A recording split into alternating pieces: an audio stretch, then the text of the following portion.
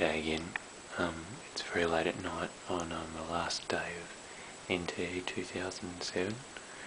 Um, this morning we finished off the talks that um, were being given.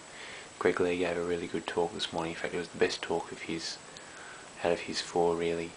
Um, and uh, his application was right on. He had an awesome illustration for the whole thing, which really illustrated the end of Hebrews very clearly and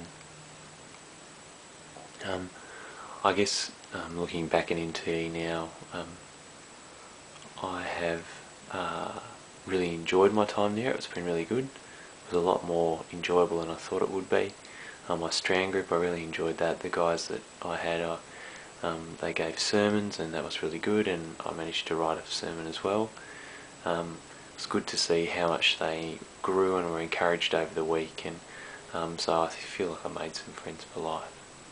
Um, I'm now in Sydney now for mission and um, I'll let you know how the mission goes um, as we start tomorrow.